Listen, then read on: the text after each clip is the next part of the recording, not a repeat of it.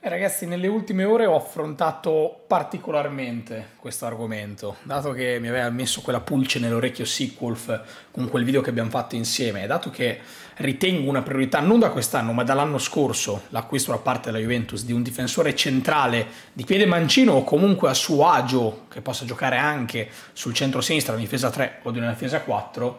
Oggi ho voluto raccogliere un po' di idee, ho pubblicato su Twitter, ho pubblicato su Instagram, ho chiesto il vostro aiuto, qualcuno mi ha tirato fuori qualche nome interessante, qualcuno ha confermato qualche nome che avevo anche pensato io facendo qualche ricerca, ma soprattutto sono nati degli ottimi spunti di riflessione per cercare di creare una sorta di guida. Attenzione, a differenza di chi compra io e te lo dico io, in cui vi andavo a fare dei nomi che effettivamente sono stati fatti da parte di esperti di mercato o indiscrezioni di mercato per quanto riguardava la Juve in più reparti, si parla troppo poco di un centrale difensivo e a maggior ragione di un centrale difensivo di piede sinistro nelle ultime ore per quanto riguarda la Juve. Quindi non significa che la Juventus stia monitorando questi giocatori, però sono anche abbastanza convinto che sia necessario cercare di farsi un'idea su quelli che sono i nomi che circolano e magari dei giocatori che eh, possono arrivare alla Juve in questa sessione di mercato, quindi un esborso economico non troppo elevato o comunque che possono essere interessati in un'avventura alla Juventus che non prevede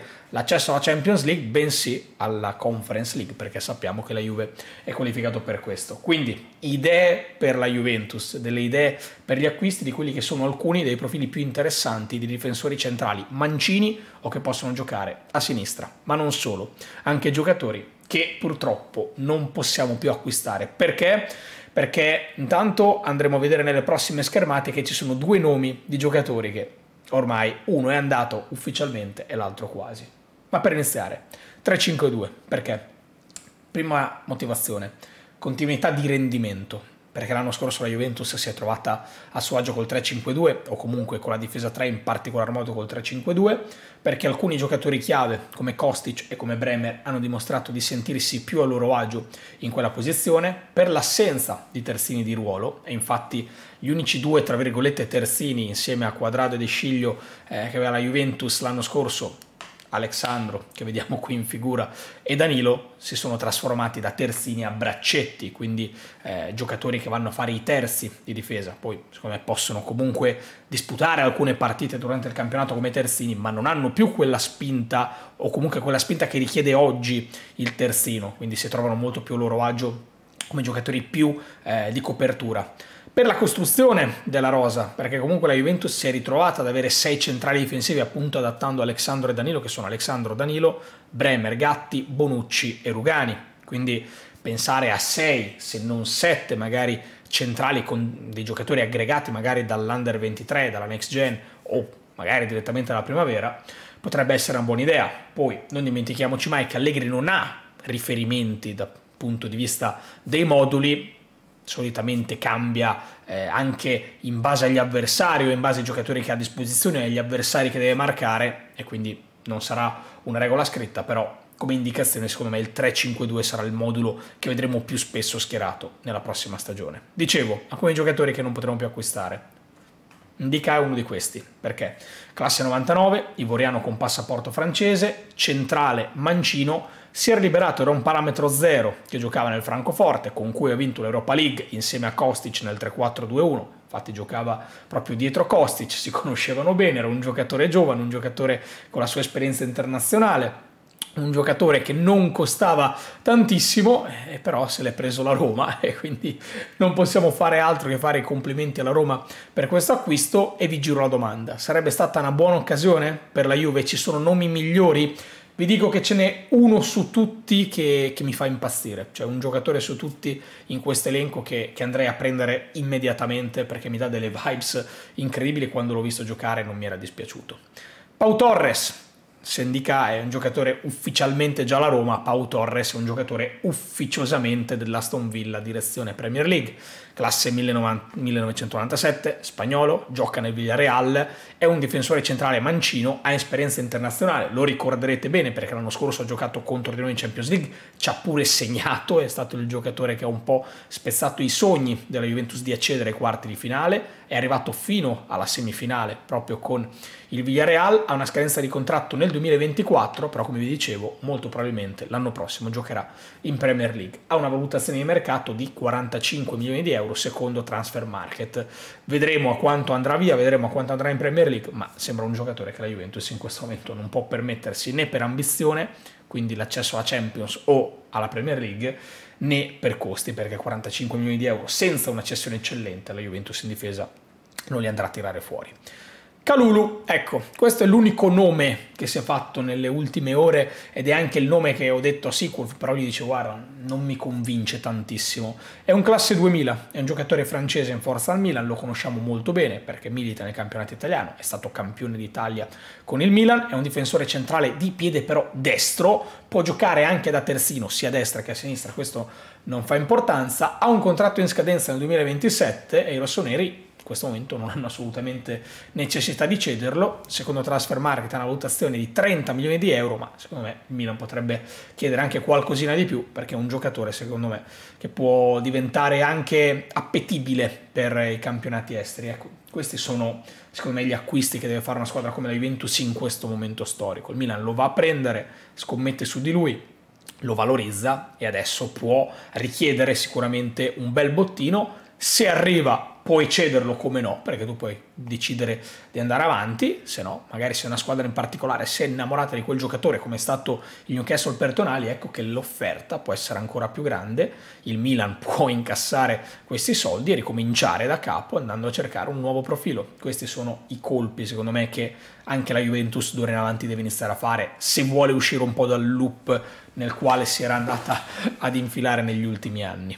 Scalvini, Scalvini è un nome che è circolato tantissimo in precedenza, nei mesi scorsi, perché è un classe 2003, è italiano, è titolare nell'Atalanta, è un difensore centrale di piede destro ma gioca a sinistra nella difesa 3 bergamasca, ha un contratto in scadenza nel 2027, però non ha esperienza internazionale perché con l'Atalanta non ha giocato le coppe. Ha una valutazione molto alta, secondo Transfer Market, circa 40 milioni di euro. Credo che l'Atalanta non abbia necessità di cedere i giocatori e credo anche che sia una bottega cara e comprare dall'Atalanta è sempre un po' particolare perché un conto è rendere dentro il meccanismo dell'Atalanta un conto e rendere al di fuori. Infatti, difficilmente poi i giocatori che escono da Bergamo, dall'Atalanta di Gasperini, riescono a replicare al 100% quello che abbiamo fatto vedere in altre piazze. Sono sincero, 40 milioni per Scalvini non li investirei in questo momento, anche se lo ritengo davvero un prospetto molto molto interessante, ma è una cifra completamente fuori mercato per la Juve, almeno che non si riesca a fare una sorta di ammortamento con qualche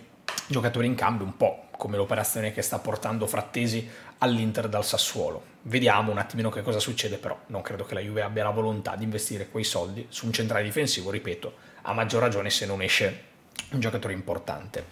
C'è la Port, ecco, la Port è un giocatore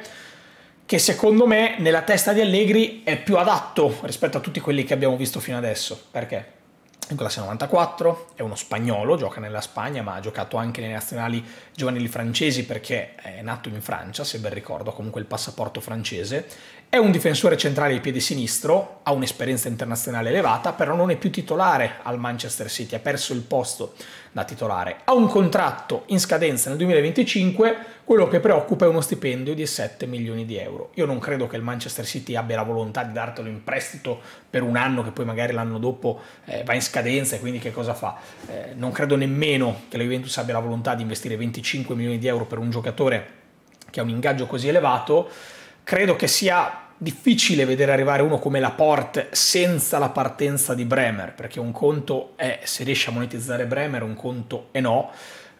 Lo vedrei bene comunque nella, nella difesa 3 al fianco di Bremer e Danilo, secondo me Allegri andrebbe a scegliere lui come giocatore perché quello eh, appunto con più esperienza, quello più pronto tra tutti quelli che abbiamo visto, però sinceramente eh, non andrei a scegliere lui, è un giocatore che nell'ultima stagione ha giocato anche davvero pochi minuti perché era uscito dalle gerarchie, poi non penso nemmeno che Laporte eh, sia così eh, felice o voglioso di lasciare la Premier League, la Champions League che ha appena vinto col City per arrivare alla Juve che non gioca le coppe, poi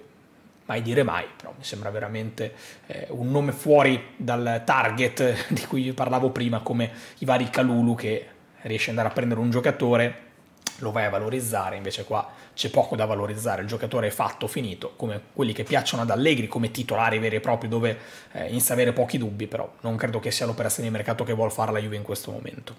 Ecco, questo è un nome che ho tirato fuori io, Ignascio, eh, perché ci abbiamo giocato contro. È un classe 2001, è un portoghese dello Sporting Lisbona, ha esperienza internazionale perché quest'anno ha giocato sia la Champions che l'Europa League da titolare, anche contro di noi appunto. All'andata mi aveva impressionato a Torino, cioè impressionato, mi ha lasciato un buon ricordo, invece al ritorno, mm, insomma, siccome aveva faticato un pochettino, non l'ho visto così tanto giocare, l'ho visto appunto in quelle due partite lì, però ha un contratto in scadenza del 2026, è ricercato anche dalla Premier League, quindi probabilmente questa è la stagione da andare ad acquistare questo centrale difensivo che comunque sta iniziando a giocare anche all'interno del Portogallo, ha una valutazione di 30 milioni che tutto sommato per un giocatore che ha esperienza, che è giovane e che eh, inizia a essere anche nel giro della nazionale portoghese non è tantissimo, però non è il mio nome preferito anche perché, ripeto, l'ho visto troppo poco e non mi ha lasciato chissà quale ricordo. È Pavlovic.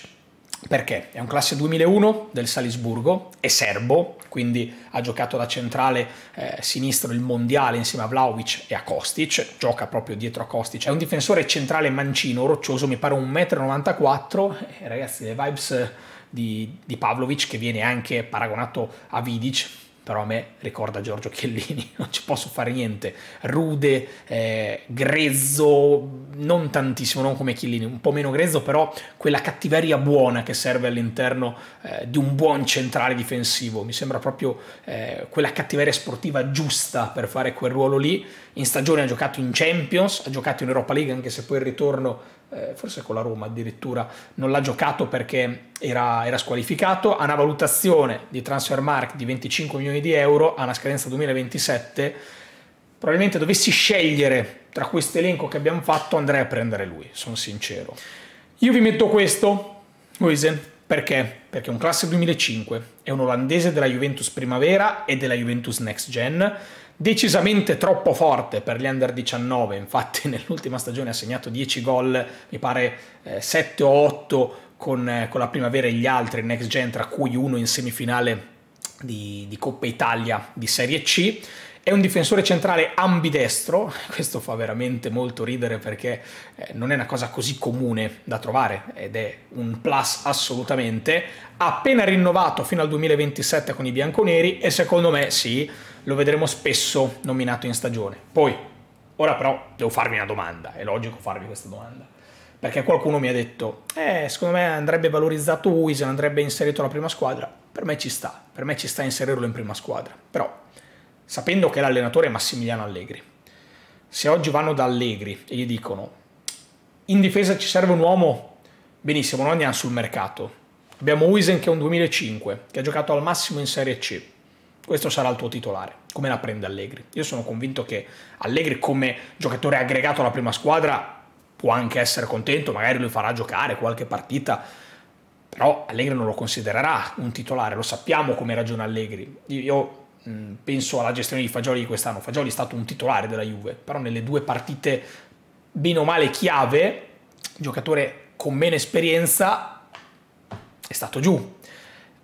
Perché? Perché poi con il Napoli, a Napoli, quando prendiamo quei 5 gol, Fagioli non è titolare ed è una partita chiave quella se vogliamo cercare di dare una minima speranza per entrare in lotta a scudetto e all'andata con il Siviglia in Europa League, stesso discorso Fagioli parte dalla panchina e sono scelte francamente incomprensibili per un giocatore che era stato titolare fino a quel momento. Quindi Allegri ci guarda tantissimo a queste cose, magari sono giocatori che entrano nelle rotazioni, magari come Fagioli diventano pure titolari, però sotto sotto nella testa di Allegri questi giocatori non sono quelli che gli danno garanzie, per intenderci, vi faccio la domanda. Se ad Allegri chiedono preferiresti avere Uisen titolare l'anno prossimo o Laporte? Secondo voi quale sarà la risposta? Non credo Uisen, credo più Laporte. Quindi secondo me ci sta aggregarlo, però dobbiamo anche fare i conti con quella che è la realtà, non è una, una decisione che possiamo fare noi, non è una decisione che possiamo prendere noi, poi non so nemmeno se Wisen sarà pronto per la Serie A, a me piacerebbe vederlo aggregato alla Serie A, non mi piacerebbe vederlo in pianta stabile in prima squadra, vi dico la verità, proprio per un discorso legato alla crescita del ragazzo, preferirei vederlo giocare con continuità in next gen,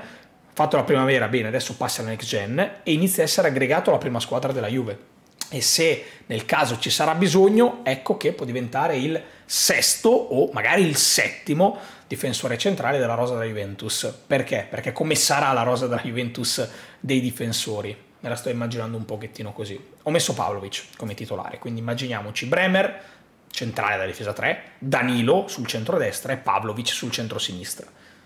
difesa abbastanza ermetica mi viene da dire. Kostic e UEA sono gli esterni della difesa 5, Scesni in porta e Gatti diventa quel giocatore che inizia a entrare nelle rotazioni perché sappiamo bene che Gatti può giocare a destra al posto di Danilo quando Danilo gioca a sinistra oppure eventualmente se non gioca Danilo Gatti può giocare Pavlovic a sinistra. Quindi Gatti secondo me è un giocatore che va confermato alla Juventus, potrebbe non essere più titolare l'anno prossimo,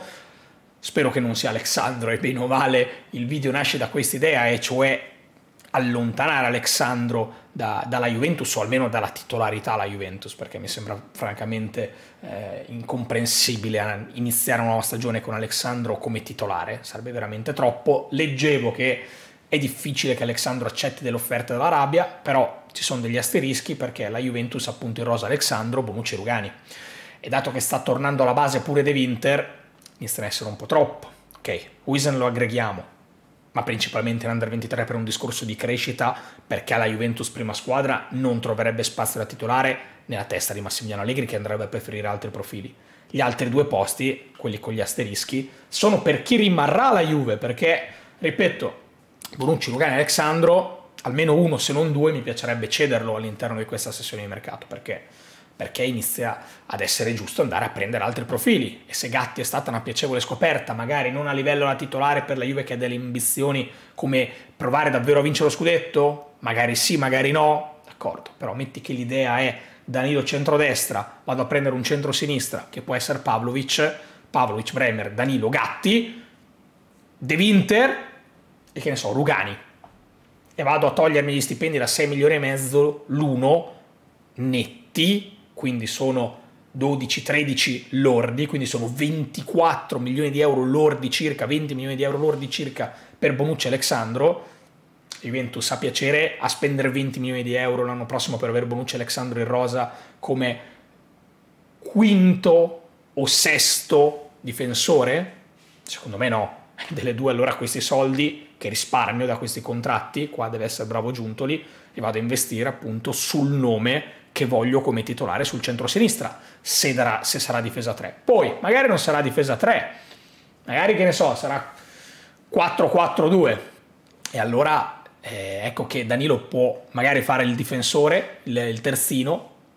destra, sinistra, non lo so, UEA può giocare a destra, a sinistra, lì dopo bisogna capire un po' come metterli giù. E Bremer e Pavlovic possono fare i centrali della difesa 4, anche se tutti e due li abbiamo visti un po' più a loro agio nella difesa 3, però se l'idea è giocare con la difesa 3, come sembra in questo momento in casa Juventus, io credo che questa sia una priorità. Cioè, inutile girarci intorno, questa è una priorità, perché se no rischi di ritrovarti ancora una volta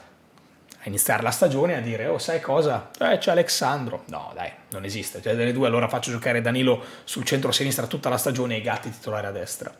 però secondo me la Juve ha necessità di acquistare un difensore titolare forte e chissà che non possa essere proprio Pavlovic. Fatemi sapere altri nomi qui sotto nei commenti, fatemi sapere se erano nomi che conoscevate già, fatemi sapere se secondo voi la Juve ragionerà in questo modo o se secondo voi invece andrà per tutta un'altra strada.